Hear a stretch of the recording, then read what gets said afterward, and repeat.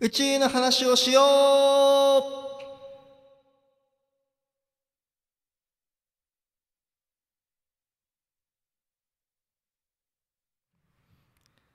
はい皆さんこんばんは、えー本日やります。宇宙の話をしよう、えーすいません先週はちょっと急遽、えー機材トラブルの対処により急遽お休みという形になってしまったんですけど2週間ぶりの放送になります。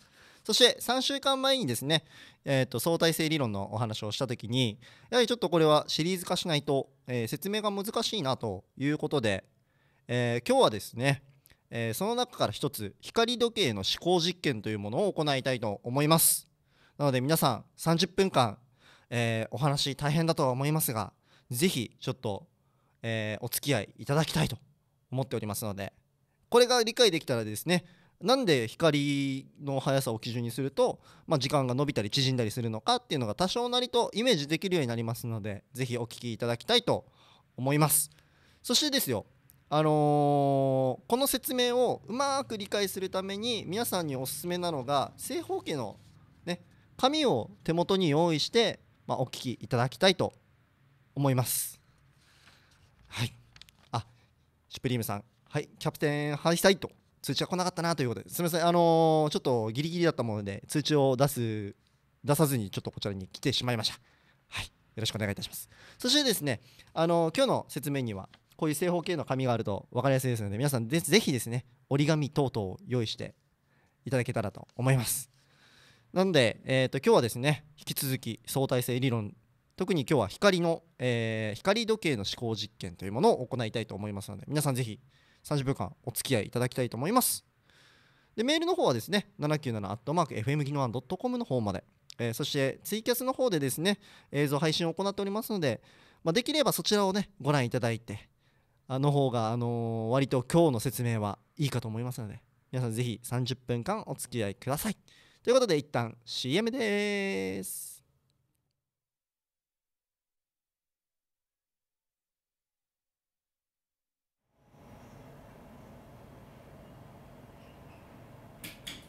すいません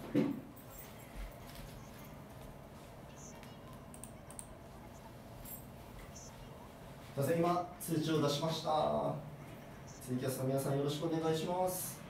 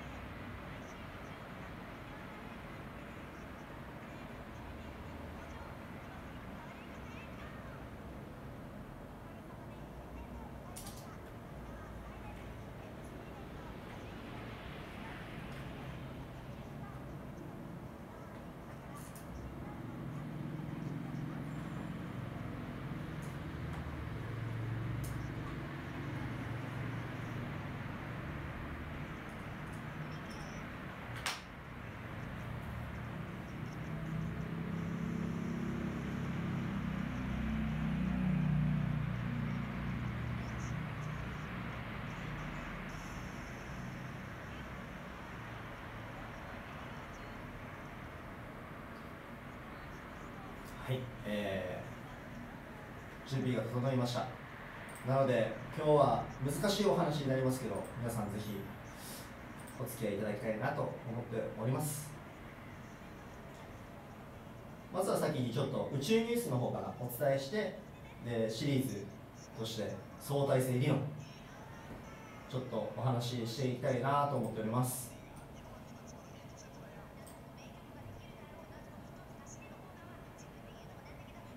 ではまもなく本放送始まります。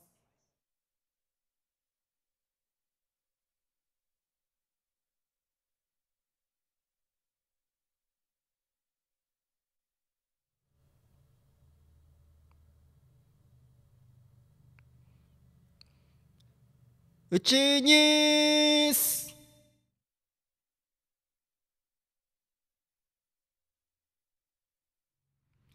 はいこのコーナーはですね私宇宙大好きキャンがですね、あのー今気になる、えーニュースを、えー宇宙に関するニュースをですね皆様にお伝えするというコーナーなんですけどはい今日ですね気になるニュースがありました。それはですねスーパー KEKB、えー、新型加速器粒子加速器のですね稼働が本格稼働が始まったというニュースです。こちらですねえっ、ー、とつくばつくばにあるということでしてえっ、ー、とそうですね。えっ、と茨城県のつくば市である、え粒子加速器ですね。何を元にしているかと言いますと、えー、2008年にノーベル賞を受賞しました、えー、小林さんと、えー、増川さんの理論を実証した加速器の貢献にあたります。で今からですね今国際プロジェクトによるあの国際リニアコライダー ILC も、えー、この技術を生かすために、えー、実験が始まっていくんですけどもこの、えー、新しいスーパー KEKB の方ですねこちら地下11メートル1周3キロの円形のトンネルを使って、えー、粒子を加速させ加速させて衝突させるとでその衝突によって反物質などの謎について迫っていこうというそういう実験施設になります。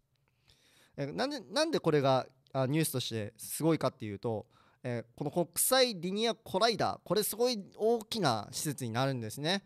で日本にも誘致しようとして一生懸命頑張ってあのー、活動してますけどもどこに設置されるかまだ分かんないんですただこの粒子加速器のあの世界っていうのは本当にあのー、いろんな物質を生み出したりその計算を行ったりとあの本当に宇宙の成り立ちについて知るために必要な実験が行われてまいりますので、まあ、私たちの生活に今すぐ直結した実験ではありませんけど100年後そういった時代にですね非常に大切なあの基礎の研究になるようなそういった施設ですのでこれが稼働したということでこれからいろんな発見がまた新たに出てくるんではないかとちょっとワクワクしたニュースでございます。なので皆さんぜひですねこちらのニュース今後もですねもしかしたらいろんな発見があるかもしれないのでちょっと耳小耳に挟んだ程度に覚えていただければ何か大きな発見があった時にこれ前にキャンさんが言ってたやつだなと覚えていただければと思っております。ではこれで以上今日の宇宙ニュースでした。でこの後はいよいよ、えー、シリーズになります。相対性理論。についてのお話をしてまいりたいと思います。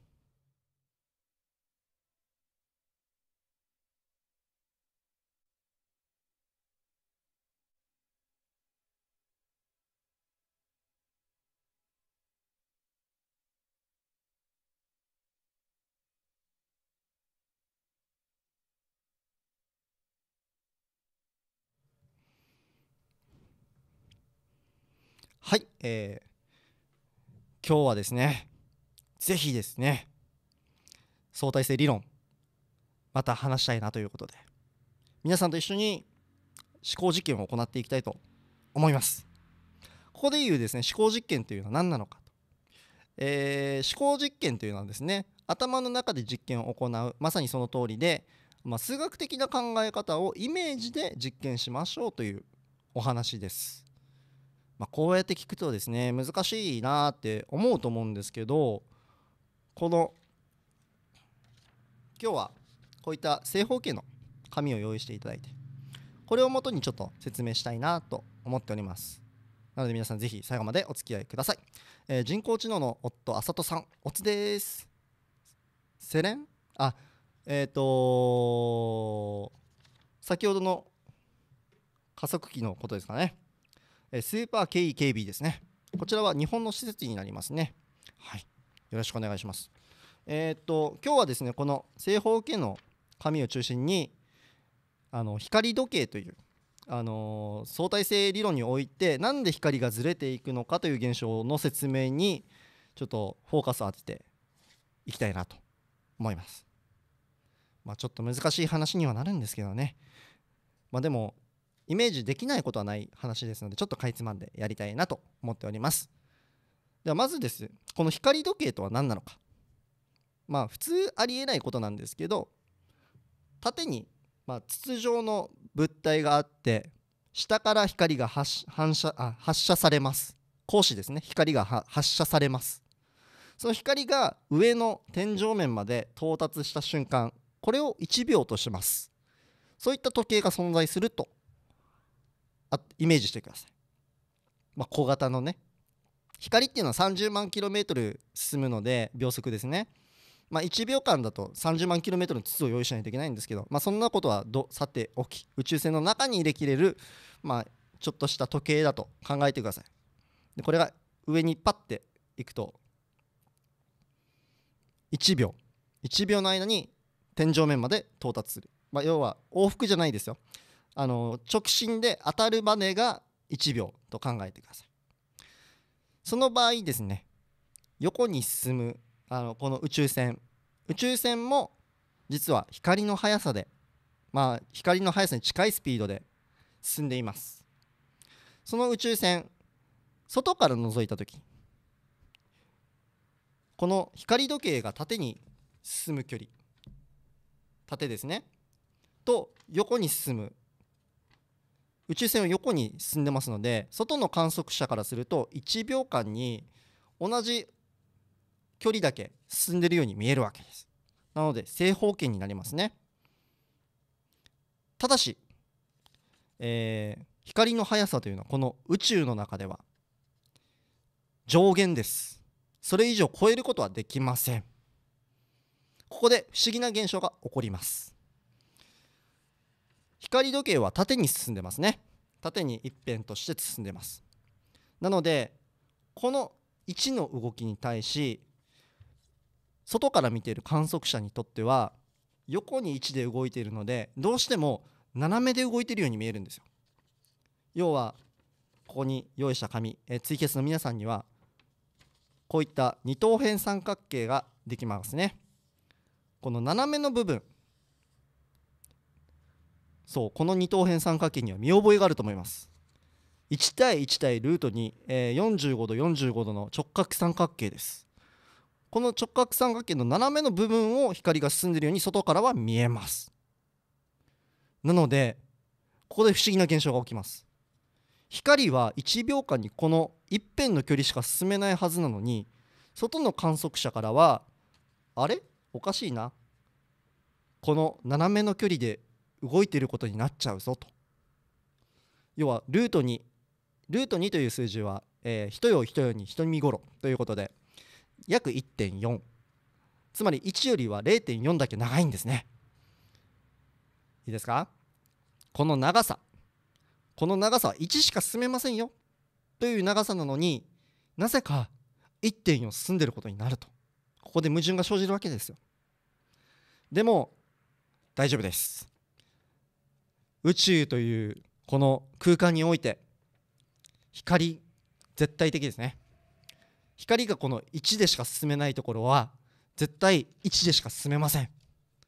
なので実は外から見た観測者にはこの斜めの部分もこの1の長さに見えるわけです。ん？ちょっと待てよと。だとしたらじゃあ進んでる距離と縦の距離って変わるじゃないの。そうなんです。その距離が外から見てる人からすると変わるんです。そして中にいる宇宙船の中にいる人とこの長さにズレが生じるんです。それが時間のズレなんです。まずですねこの斜めには進めませんのでこれが1で済むような長さまで横の幅が縮みます。これは空間の歪みです。なので宇宙船がぺっしゃんこに潰れてるように見えるんですね。外の観測者からは。そして中に乗ってる人今度この斜めに動くはずだった分潰れちゃってますよね。でこの潰れてる分で今度見てると同時に中の観測者からその時間を切り出すと要は上まで到達してないこの分の時間が縮んでしまうんです。なので外で観測している人と光の速さで移動している人の時間はずれるという思考実験になります。いいですか？今のお話多分難しいと思いますので皆さんツイキャスの方でもう一度コメントをいただければと思います。再度説明を試みたいと思いますね。はい。この縦に1秒間で1進む光時計というものがあります。そしてこのロケット光時計を搭載しているロケットは横に光の速さに近いスピードで移動しています。まあほぼ1だと思ってください。この11の関係を見ると外から見てる観測者にとっては横にも移動している縦にも移動しているこの光斜めを移動しているように見えます。なので斜めはルート2の長さです。でもルート2これは光の速さを超えたスピードになってしまうので光の速さは超えられません。なので1の長さまで縮みます。これが空間の縮みです。なので宇宙船は縮んで見えます。そしてこの縮んだ分この縮んだ分の場所から今度縦まで本来到達するはずだったこの光時計。中の観測者からしたらそうですね。こうやって。この部分この部分が光。まあ光が到達してないので時間要は時間が到達してないので時間の遅れが生じます。これが積み重なることによって浦島効果と呼ばれる、えー、時間のずれというものが生じる。これが実に思考実験によって実は証明されるわけですね。でここで疑問が生じるわけですよ。なんで光の速さって30万 km だけどこれが宇宙の限界なのかと。実はですね光っていうのはどんなに速く近づいていっても観測すると秒速30万 km そしてどんなに光から離れようと動いても秒速30万 km で観測できます。これに関してはこもう高精度な、あの、ズレで計算しても今のところその精度のズレがないんです。なので光に関してはどんなに速く動いて計測しても30万 km だしどんなに遅くそこから離れようとしても30万 km で計測できるということは光は一定どの瞬間からも一定な速度で動いてる。つまり上限に達しているという計算になっているわけですね。だからこういう難しいパラドックスのようなそういったお話が出てくるわけであります。ではですね今ちょっと皆さんパニックしてると思いますので一度ですねここであの曲をおかけしてで曲の間にまたツイキャスの方のコメントを拾いながら、えー、と後半もう一度説明試みたいと思いますのでぜひよろしくお願いいたします。ということで一旦ここで曲をおかけします。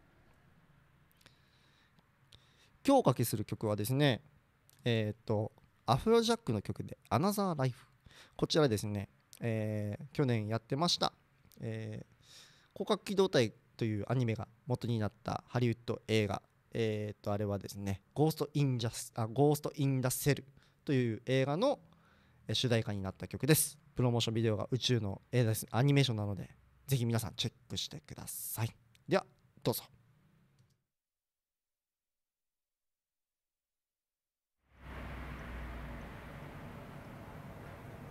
レイニーさんどうもありがとうございます。こんばんは。ルート2とか懐かしいということで。そうですよね。学生の間にしか聞かないですもんね。そして古舘一郎さんが言っていた F1 ドライバーは早く受けるという説なのかなということで。いや逆なんですよ。あの F1 ドライバーは老けるんじゃなくて本本本来であれば若く見えるはずなんですけど早く老けるっていうのはそれだけストレスかかってるとか結構いろいろですね。あの体を酷使してるせいであの老けるということが起こるということですね。スピードだと逆にスピード出してる方が若くなります。でオイラの理解を超えてるけど興味深い話興味深い話で楽しいですということ。ありがとうございます。いやこの時間のずれの説明ってなかなか難しいんですよね。光時計の話ってあのパラドックスが元になっているのでそれをうまく説明するためには本当は可視化する必要があるんですよ。なので、まあ、お話だけでちょっとやろうとすると今みたいになるんでこの正方形の紙を用意したのはそういうことです。光が例えばまあ縦に 1, 1を進む。光時計というものがあってそれを、まあ、光の速さで進むロケットに乗せたとしてそのロケットが光の速さで飛んでるとやっぱ1しか進まないですよね。その1の間。でも外で静止してる人から見ればそれはえー、縦に縦に動くという動きは横に進みながらだとこういう斜めの動きになります。ここまでイメージできると思います。縦に動いているもの。これは横から見た時には斜めに動いている。例えば船の上でボールを真上に投げた時にあのそこに乗っている人からはただ単に真上に投げて落ちてるだけ。でも外から見ている人にとってはこの船の動きがあるのでこれが斜めにですねポーンと放物線描いて落ちてくるように見えるんです。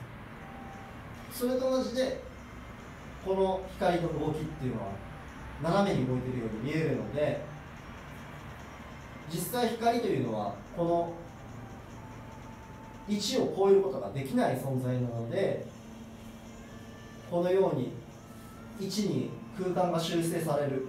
そして時間も修正されるということが起こってくるわけですね。結構この話はですね何とかしないと多分イメージできないと思います。でもこの紙のようにそういうことが起きているんだということが宇宙では結構不思議なことでありえるわけですね。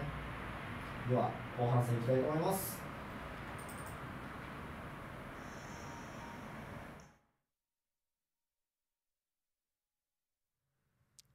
はい。では皆さんどうも。30分の宇宙の話をしよう。お付き合いいただいておりますが。はい。特殊相対性理論は一筋縄では理解しがたいと知ったでしょあ知っただけでよしとしようということでシュプリームさんから今コメントいただきましたね。ありがとうございます。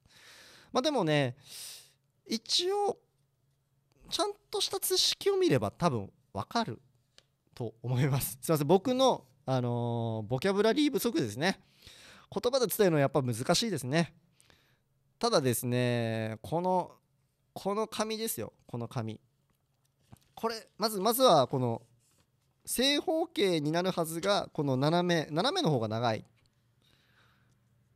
この斜めの方が長いっていうのをまず覚えていただいてでも光の場合はこれを超えられないんです。っていうのがあればここに修正されるのが時間と空間だということをイメージできればなんとなくあだからずれるんだっていうのがちょっと分かってくると思います。はい。すいません。こんな説明しかできないんですけどね。はい、えー、ラジオを聞いてる方にはですね何のこっちゃ、えー、余計分かりづらいと思いますがツイキャス、えー、ユーストリーム伺っている皆さんこういう紙正方形の紙を用意してイメージしてみてください、えー、縦に1でそしてロケットに乗っているから横にも1進んでいる光時計の光を外から静止している方から見たらどう動いて見えるか。そのためのイメージでこういう正方形の紙を用意しました。えー、雨男レイニーさんからですね。光が縦、えー、自分が横。結果斜めに見えるのはすごく分かりましたということで。ああありがとうございます。そうなんです。こう進んでいるものが横に進んでいて、えー、光が縦に進んでいると光は斜めに進んでいるように見えます。はい。そしてシュプリームさんから時間がキーワードであることも理解しましたということでそうですね。なぜ時間がキーワードか。皆さん速さというものは何なのかっていうと速さというのは物理学用語で V そしてそれイコールですね、えー、距離を時間で割ったもの。つまり距離時間の分数でできてるわけですね。タイムで割ったもの。はい。なので速さ距離時間そういうものはですね結構同質なものであると物理学では捉えられるんです。なので、まあ、こういったお話っていうのは非常に難しいかもしれないですけど、まあ、またですねこの相対性理論のコーナーもっとですね30やっぱ30分足りないですねまあ1時間に拡大したらまた相対性理論の話本当にシリーズ化してちょっと僕もですね研究してどういうふうに説明したら分かりやすくなるかなっていうのをちょっと考えながらいろいろお伝えしていきたいなと思っております。えー、くにちゃんさんですかね。えっ、ー、と相対性理論、えー、難しいなと。理論なんでどっかで妥協しないと分かんないのかなということでいや妥協というよりもですね一応なんかそれについて考えると結構ふっと自分の中であれ？